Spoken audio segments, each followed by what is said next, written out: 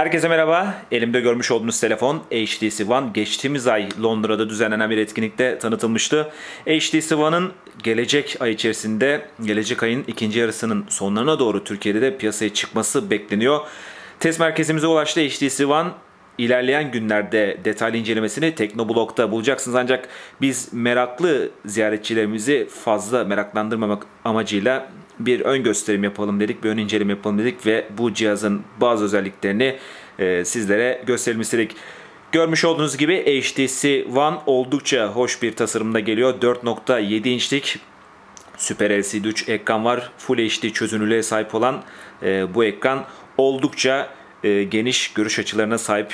Gördüğünüz gibi ekrana oldukça e, geniş açılardan yandan baktığımızda bile ekranda neler olup bittiğini rahat bir şekilde görebiliyoruz. Ekranın dış ortamda da e, gösterişi, görünüşü bir hayli rahat bir şekilde HTC One'ı kullanmak mümkün oluyor. Tasarıma baktığımızda HTC One'ın tek kalıp metalden üretildiğini söyleyelim. CNC tezgahından çıkmış oldukça ince işçiliğe sahip olan bir telefon. Ee, yaklaşık 9 mm'lik bir kalınlığa sahip. Ayrıca profilden baktığımızda kenarlarında bazı yerlerde kalınlık 4 mm kadar iniyor. Gördüğünüz gibi 9 mm toplam kalınlık. Arka tarafı da hesaba kattığımızda kalınlık 9 mm. Yoksa kenardan baktığımızda daha ince bir görünüş söz konusu. HTC One'ın beyaz renkli bir versiyonu var ve gördüğünüz gibi siyah renkli versiyonu var. Bizim elimizde siyah renkli bir versiyon var. Ee, her iki versiyonunda, her iki renginde oldukça hoş göründüğünü söyleyebiliriz. Ekrandan bahsettik. Ekran oldukça iyi olduğunu söyledik. Gördüğünüz gibi HTC Sense 5 arayüzü geliyor e, telefonda. E, Android CLB'nin üzerinde bu yazılım çalışıyor. E, baktığımızda uygulama menüsünün normale göre farklı olduğunu görüyoruz. E, Android'in sayfalı yapısının aksine HTC Sense'te, Sense 5'te aşağı doğru akan bir yapı var. Uygulamalar bu şekilde gösteriliyor. Aslında biraz başlangıç paneliyle, başlangıç ekranıyla uygulama menüsü birleştirilmiş gibi bir hal var HTC Sense'de.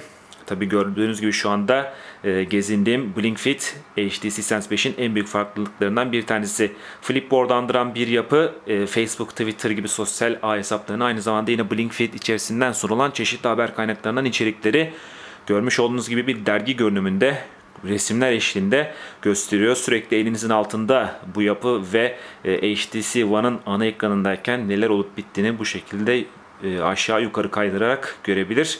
Herhangi bir içerikte neler olup bittiğinde e, o kutucuğa tıklayarak dokunarak görebilirsiniz. Görmüş olduğunuz gibi. Devam edelim. Tekrar e, Blinkfeed'e dönelim. Yine sola sağa sürüklediğimde direkt diğer başlangıç ekranı panellerini görüyorum. Altta yine kısa yollar mevcut.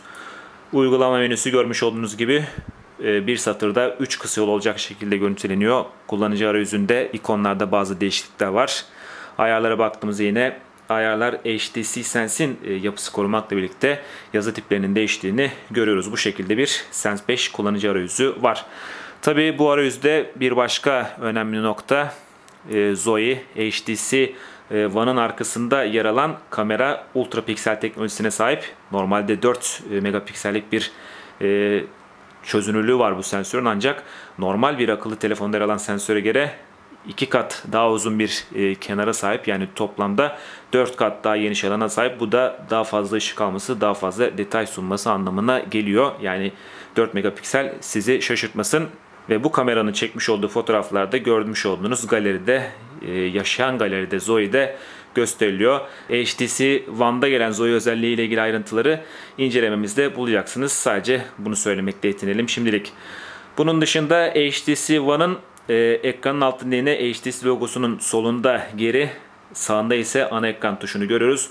Ana ekran tuşuna iki kere hızlıca dokunduğunuzda son açık olan uygulamalar geliyor. Bu şekilde bir e, yenilik var. E, HTC One'da o çoklu görev tuşu kaldırılmış. Onun yerine o çoklu görev tuşunun işlevi de çift tıklamaya, çift dokunmaya aktarılmış.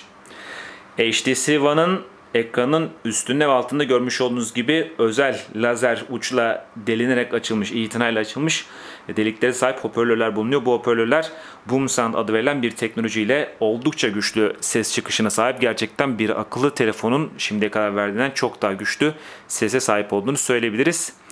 Şöyle bir Teknoblog Podcast başlıyor.